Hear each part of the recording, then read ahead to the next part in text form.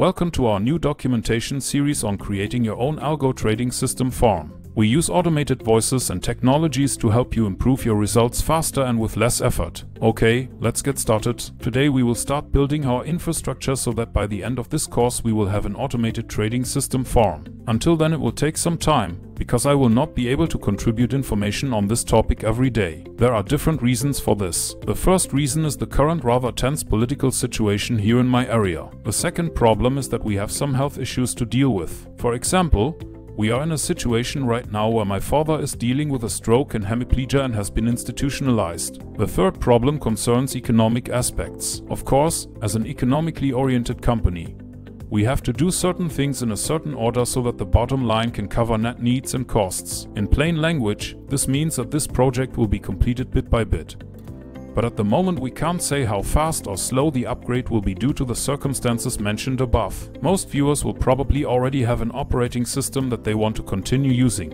In our case, however, we will be using a 10-year-old netbook and installing the software that we currently think is the best solution for those who have not yet chosen an operating system as their only option. This software is a Linux distribution based on Debian called MX Linux. MX Linux has managed to grab the first place on the list of the most popular Linux distributions within the last few months. And the reason for this is quite simple.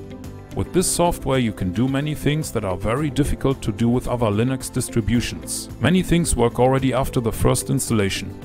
The hardware is recognized very well, even if the devices are more than 10 years old. In addition, MX Linux is able to run a very modern and up-to-date version of Linux with very few resources without having to deal with any command line commands all day. In plain language this means for all who want to use MX Linux that you can combine the advantages of several worlds and still be able to use a performant and easy to use operating system without having to pay license fees. We have tried several different Linux flavors for our own company over the last few years and most of the time you hit a limit at some point that doesn't allow you to continue. In this case it's relatively easy to implement.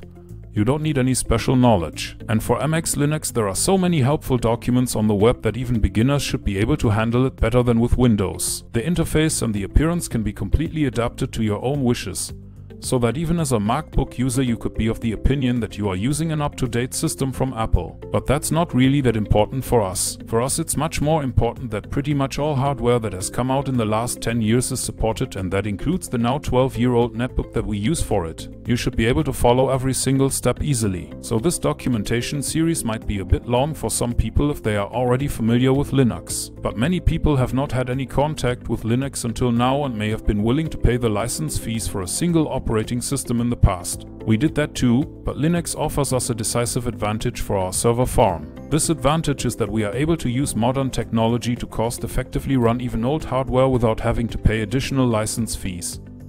Even if we want to expand our server farm to 50 or 100 servers. This may not be very interesting to some viewers now, but I can promise you that in the next few years you will see that exactly such systems will make the difference between good and bad results in trading. In the past, technology that gave you a decisive advantage was not affordable. Today you can change that for yourself and your own algo trading system farm. Therefore, please download the latest version of MX Linux for 64-bit with the desktop solution Fluxbox now. Okay, that's it for today. If you are thinking about building your own algo trading server farm, please subscribe to our YouTube channel. If you need faster and better results, then why not check out the premium course on our website. If you have any questions or suggestions about the content in this video, just send us an email. We always reply personally and usually within 24 hours. For now, we say thanks for watching and see you in the next video.